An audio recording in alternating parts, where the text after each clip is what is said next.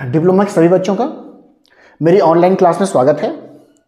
और सबसे पहले आप लोग को ढेर सारी शुभकामनाएँ कि आपका जो आगामी एग्ज़ाम है, जो आपका सेमेस्टर का एग्ज़ाम है, वो बहुत ही अच्छा आप लोग का हो और आप अच्छे से प्रिपरेशन करें।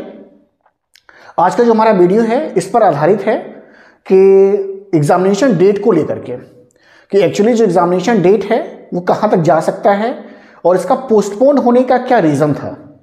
और अब हमें अपनी तैयारी कैसे करनी होगी?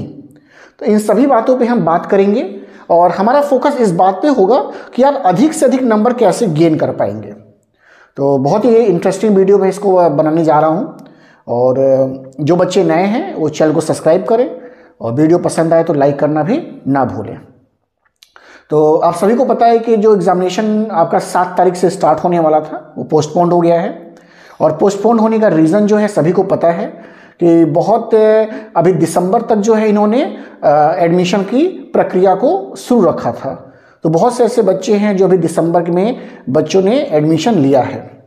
तो ऐसे में बच्चे एक महीना ही क्लास कर पाए हैं कहीं कहीं क्लास भी नहीं चल पाई थी कहीं कहीं अभी सिलेबस अधूरा रह गया था। तो इन सभी को देखते हुए लगभग दो हफ़्ते, जो मेरा कैलकुलेशन कह रहा है कि लगभग दो हफ़्ते जो है वो आगे बढ़ गया है। यानी दो हफ़्ते के लिए पोस्टपोन हो गया है। तो बिल्कुल इसका फ़ायदा उठाने का समय आया है। इसको बिल्कुल ऐसा नहीं लेना है कि नहीं, बहुत लंबा चला जाएगा फरवरी तक चला जाएगा। तो मुझे नहीं लग रहा कि फरवरी तक जाएगा और जनवरी का आखिरी हफ़्ता हो सकता है कि एग्जामिनेशन को फिर से आपको रिशेड्यूल कर दिया जाए। तो इस बात का ध्यान रखेंगे कि जो समय हमें मिल रहा है, इस समय, उसका अच्छे से अच्छा उपयोग करें आप। क्योंकि देखिए, ये प्लस पॉइंट हमारे साथ अब है कि मान लीजिए हमने प्रिपरेशन किया और मान लीजिए पंद्रह दिन या बीस दिन मिल गया है तो उसको हम जितने अच्छे तरीके से उपयोग कर पाएँगे, उतने ही नंबर अच्छे आएँगे। तो बिल्कुल ऐसा नहीं जाने देना है कि अब ठंडा का मौसम चल रहा है तो फिर अब पढ़ाई छोड़ दिया पोस्टपोन हो गया, बिल्कुल नहीं। अब और ज़्यादा ध्यान देने की आवश्यकता है, और अब सेल्फ स्टडी की आवश्यकता है। खुद से जिन चीज़ों से आपने नोट्स बनाए थे, जिन किताबों से आपने पढ़ा था, उन सब पर फोकस करने की आवश्यकता है। अगर कोई साइड बुक आपने लिया है तो साइड बुक को भी थरोली पढ़िए। और ऐसा नहीं कि सारा का सारा समय किसी एक सब्जेक्ट को आप दें। ऐसा भी नहीं करना है। ऐसा बिल्कुल नहीं करना है कि बस केवल एक सब्जेक्ट मैथ लगाए जा रहे हैं।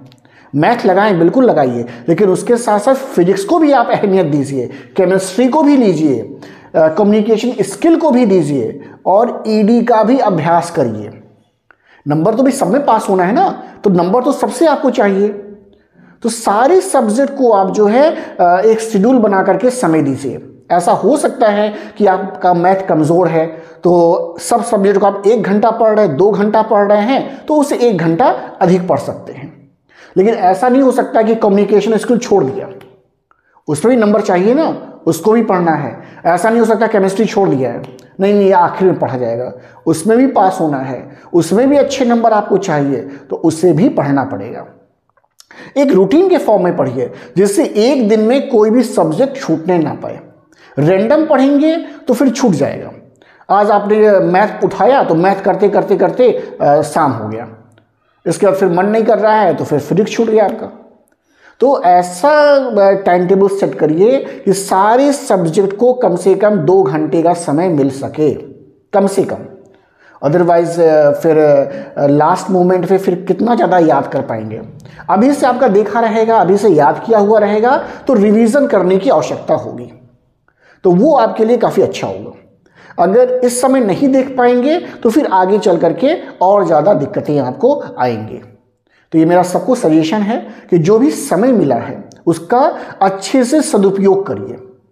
इधर उधर जाने से बचें। ठंडा का मौसम है और सुबह से लेकर के शाम तक आपको बहुत अच्छा स्लॉट मिल जाएगा। एक बात और है, स्वास्थ्य पर ध्यान ज़रूर दीजिएगा। अब इस मौसम में ऐसा नहीं चलेगा कि चलो सुबह नहीं खाना खाते हैं या रात में बिना खाना खाए सो गए, ऐसा नहीं होना चाहिए। अदरवाइज़ आपके जो इफ़ेक्ट आपके जो मतलब साइड इफ़ेक्ट इसका बहुत ज़्यादा आपको पड़ेगा। आप बीमार हो सकते हैं। क्योंकि इस समय जो है बॉडी को एनर्जी की ज़्यादा आवश्यकता होती है। तो इस समय जो है एनर्जेटिक फ़ूड लीजिए। सैलड खाइए गाजर का उपयोग करें और शाकाहारी भोजन करें। रात के समय जो है सुपाच्य भोजन करें। ये बहुत ज़रा आवश्यक है। तो ये कोशिश करिए और खुद से बना ले रहे हैं तो बहुत अच्छी बात है। बहुत से ऐसे बच्चे हैं जो हॉस्टल में ले रहे हैं, बाहर रह के पढ़ते हैं। तो उनके लिए बहुत विशेष बात है कि खुद से बना रहे हैं तो बहुत अच्छी बात है। बहुत बढ़िया है, कर रहे हैं। लेकिन अगर नहीं हो पा रहा है तो अरेंज कर लें। एक हफ़्ते के लिए मैं बार बार कहता हूँ कि एक हफ़्ता बाहर से भी ले सकते हैं खाना। तो उसको भी अरेंज करके किसी भी तरीके से मतलब एक बैलेंस बना के रखिए। कि जिससे आपकी पढ़ाई भी डिस्टर्ब ना हो और इसका पूरा से पूरा फ़ायदा उठाया जा सके। ठंडा का मौसम है तो सब चीज़ व्यवस्था करके रखिए और खाने पर विशेष ध्यान देंगे और खाने के साथ साथ पढ़ाई पर भी विशेष ध्यान दीजिए। क्योंकि अगर स्वस्थ रहेंगे तभी तो पढ़ पाएँगे।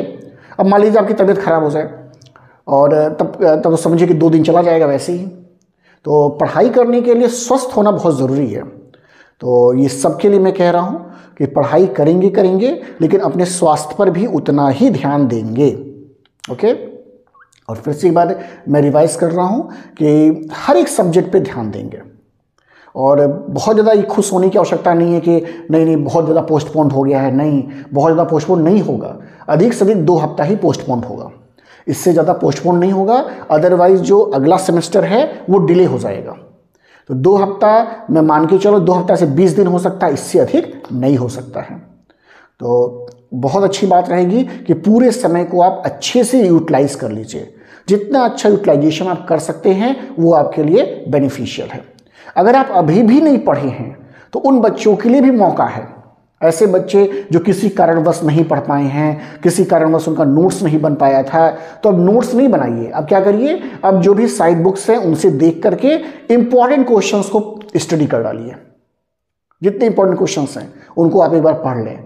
तो एक अच्छा मौका मिला है इसीलिए मैंने ये वीडियो बनाया कि थोड़ा सा मोटिवेट आप हो जाए कि ये इस मौके को बिल्कुल पूरा का पूरा आ, अपने साइड में करिए। क्योंकि ऐसा मौका जल्दी मिलता नहीं है। और सपोज़ करिए सात तारीख से एग्ज़ाम होता, तब एग्ज़ाम देते ना आप, तभी आपको देना पड़ता। तो जो मौका मिला है तो टाइम इंटरवल मिल रहा है, उसको अच्छे से और अच्छा प्रिपरेशन करिए। जिनके प्रिपरेशन बहुत अच्छे हैं, वो और अच्छे से प्रिपेयर करें। जिनके थोड़े से कहीं लग रहा है कि फिजिक्स में कुछ छूटा है केमिस्ट्री में कुछ छूटा हुआ है मैथ में अभी नहीं पढ़ पाए थे सी एस में कुछ बाकी रह गया था, उनके लिए तो बहुत अच्छी बात है कि समय मिला है, उसको अच्छे से पढ़ लें। तो ये वीडियो आप लोग के लिए बनाया था कि आने वाले समय में आप किस तरीके से फोकस करें अपनी चीज़ों को, और जितना अच्छा फोकस करेंगे, उतने अच्छे नंबर पाएँगे। एक बार पुनः सभी को नए वर्ष की शुभकामनाएँ, और आने वाले समय में आप अच्छे नंबर गेन करें, अच्छे नंबर से अगले सेमेस्टर में जाएँ। सभी पास होकर जाएँ सारे सब्जेक्ट में आप पास हो जाएँ। ये मेरी शुभकामनाएँ आपके साथ हैं। Thank you